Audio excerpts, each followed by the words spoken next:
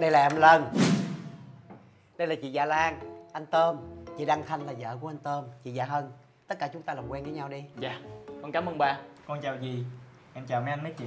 Em tên là phi lân. Ủa sao em dám gọi ba chị là ba vậy? Dạ. Tên con. Sao vậy? Ủa thì con thắc mắc con hỏi. Mất công chết chị thiếu hiểu biết. À, này này bé nói nhầm ha Nhưng mà tại sao con chết trước khi hiểu biết đó hiểu không? Cô cái gì? Tụi con ơi Đây là con nuôi của ba con á. Công nhận nhìn em đẹp trai quá ha giống như diễn viên vậy á. Ủa em giống ba giống mẹ vậy đâu? À, mẹ em nói là em giống ba. Giống ba hả? Dạ. Giống ba đẹp trai lắm hả Tội nghiệp em lắm con. Mẹ chết rồi. Mà ba thì đi làm xa hoài à. Bỏ em ở nhà một mình vậy đó. Đâu có ai lo lắng quan tâm chăm sóc đâu. Cái ba con mới nói thôi bây giờ thời gian này đưa em Lân á về ở nhà mình tạm. Rồi à, lo lắng phụ với nhau. Đó nên tụi con thương em nha. Đi. À thôi gia đình mình ăn cơm đi. Dạ con mời ba mời mẹ. Chờ câu này nãy giờ. Mình mình từ từ để người lớn ăn mình ơi mình ăn cơm. Em có làm súp cho mình nè mình ăn súp đi nha mình nha. Ừ. ăn đi mình mặn ừ, mình. Mình mình ăn đi ăn đi. Uống thì ăn uống thì ăn cho có sức khỏe nha mình nha. Ăn mấy cái kia huyết áp cao đâu không có được đâu. Dạ dạ. mời ba mời mẹ ăn cơm. Mời dì mời ba. Ừ, mời này con này có ăn gà đi con. Này này con ăn gà đi con con thích ăn gà đó ở đây gà em ở đây gấp thích mà gấp hoài con thích chứ. Thích cái gì? Ăn cá đi hai đứa ăn cá. Trời món gà này gì gì làm hả gì ừ trời ngon lắm luôn á gì ủa vậy là gì đoán đúng hả con thích gà thiệt á hả? Đúng rồi con thích ăn gà lắm luôn á gì Trời ơi, riêng chuyện gì chứ chuyện gà nhà này bao la đúng không mình? dạ. Ta nói ngày nào cũng mua mấy con ăn, mấy con ăn cho nên con ăn khi nào ngán thôi. Dì Dạ. mời con hàng ngày luôn nha. Mẹ con nói hả là con ăn gà giống y hệt như ba con vậy luôn á. Ba con thích ăn gà nữa mẹ chị hay chọc á là kiếp trước mấy con gà có nợ với ba á, cho nên kiếp này mấy con gà bị ba ăn hoài á còn khác chị dạ lan nợ với cá ơi! Con này chị cho ăn gà ăn cá chứ ăn cái gì dễ ra đàng hoàng ăn nghe chưa? chắc chị dạ lan có thù với cá hay giờ ăn nguyên con luôn á. Em giờ không nói gì đó hả? Mà xúc rồi cái nhà ăn cơm ăn cơm đi con. Trời ơi em đã dặn mình rồi Chứ đi nó ăn súp đi nè Cái này của mình nè Ăn để giữ gìn sức khỏe cho em lo sức khỏe cho mình lắm. Ăn đi, ăn đi. Mặn đau. À, ăn đi mình. Ừ. em đút cho mình ăn nha. Mặn lắm. Ăn đi nè ăn đi nè ngon quá. Cái này đặc biệt dành cho mình đó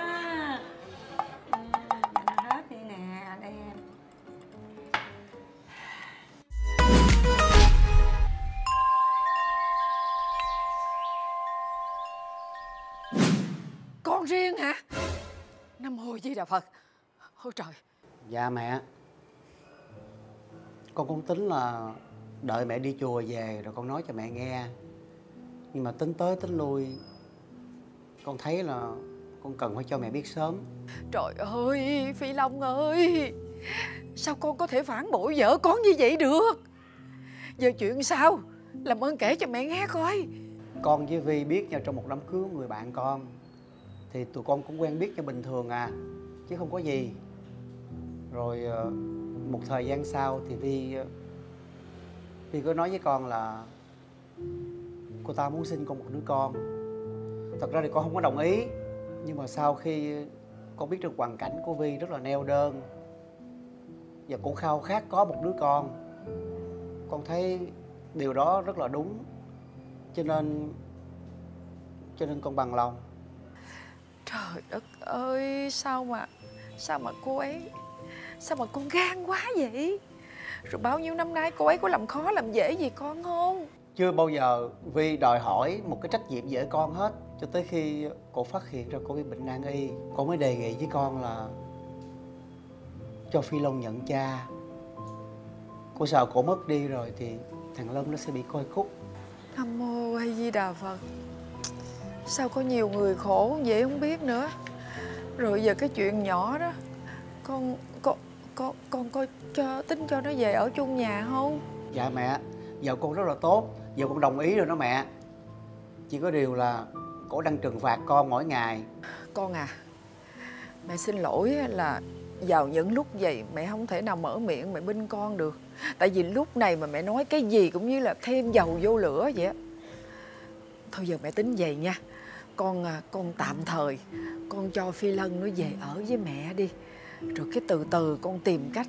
Con nói chuyện với vợ con sao? Nha. Con con sẽ nói chuyện lại với vợ con. Con con hy vọng là vợ con sẽ đồng ý. Em nói là không được. Thằng Phi Lân nó phải ở trong căn nhà của mình. Ngay cả nhà bà nội nó cũng không được qua bên đó ở. Em không muốn mọi người người ta nhìn vô. Em là người mẹ hẹp hòi Ích kỷ hay cái gì đó thì như vậy cũng tốt thôi. Từ xưa tới giờ mẹ vẫn thích ở một mình. Bây giờ thằng phi lân nó qua nó ở chung với mẹ anh sợ là mẹ cũng không thoải mái. Chứ không phải á, là anh sợ á, là thằng Phi Lân á Là nó không ở bên cạnh anh. Anh xa đứa con trai ngọc Trai vàng đó của anh hay sao? Vậy chứ bây giờ ý em muốn gì? Về đây thì em cũng không chịu cho nên anh buộc là phải đem gửi bên mẹ mà thật ra khi thằng phi lân nó ở đây anh thấy là anh chị em của nó đều rất là thương yêu nó. Chị em nó vẫn trang hòa hòa đồng với nhau mà. Nhưng mà em muốn nó về đây ở Để em dễ kiểm soát tất cả con cái. Anh nhìn đó là ngoài hình thức thôi. Làm sao anh biết được trong lòng các con nó nghĩ gì? Một người cha đã làm buồn đau lòng tụi nó hả Phụ lòng tụi nó như vậy á Thì làm sao mà mà em dám nhìn nhận ai đây? Thật ra từ trước tới giờ mẹ con của vi cũng chưa bao giờ đòi hỏi điều gì. Cho nên anh thấy rằng anh cũng không làm gì có lỗi với họ hết. Chính vì vậy cho, cho tới giờ phút này anh cũng không thấy có chuyện gì phải xấu hổ với con của mình. Thằng Phi Lân hả? Tiếng một là ba, tiếng hai cũng là ba. Lúc nào cũng ngọt ngào ba con với nhau. Quá ra là anh với nó qua lại thân tình với nhau. Bao nhiêu năm qua anh lừa gạt tôi vậy là quá đủ rồi. Tôi đã nói rồi. Dứt khoát là nó phải ở nhà này Không ở bất cứ chỗ nào hết. Mà bắt đầu từ hôm nay á Tất cả mọi việc đều do em quyết định. Anh không có quyền gì nữa hết á.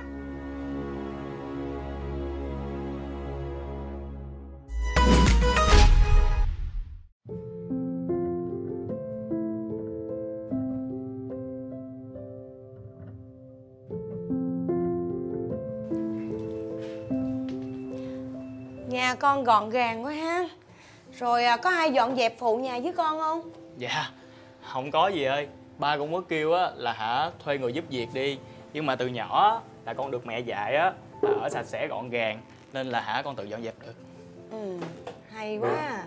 Rồi à, ba Long có hay thường ghé qua đây thăm con không nè? Dạ lúc mẹ con bệnh á thì ba có hay ghé. Nhưng mà từ lúc mẹ mất tới giờ á Ba chỉ gửi à, trái cây với hoa thôi à. Vậy thôi về ngoài chơi để con bày đồ cúng cho mẹ. Ờ, con cứ tự nhiên đi nghe.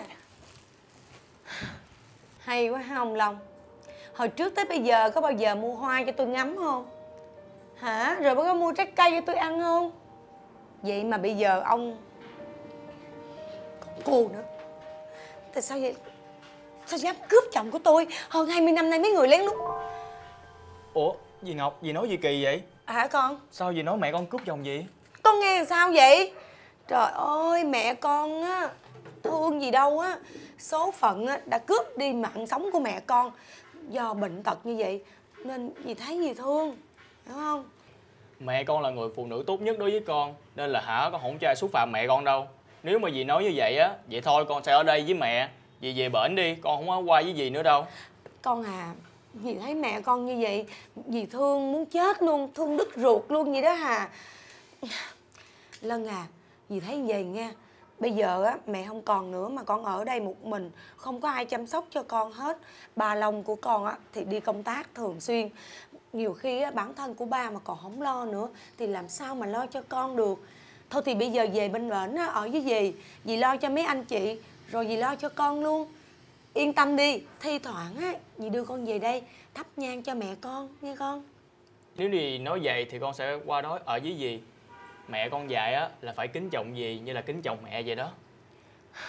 Mẹ con dạy cho con khéo quá à. Ừ, Chắc là mẹ cũng hay nói với con là Phải gắn bó với ba đúng không? Dạ đúng rồi đó dì.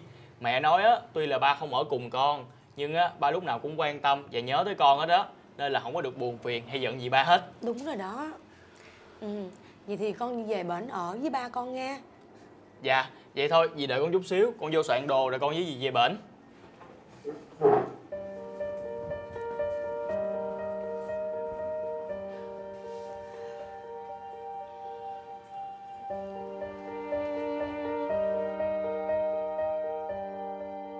giờ chị thay mặt em, đưa con em về nhà chị để chăm sóc cho nó nghe.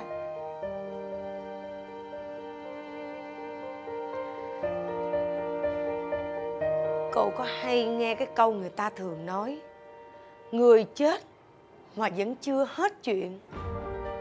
Sao cô chết rồi Mà vẫn còn làm khổ tôi như vậy chứ?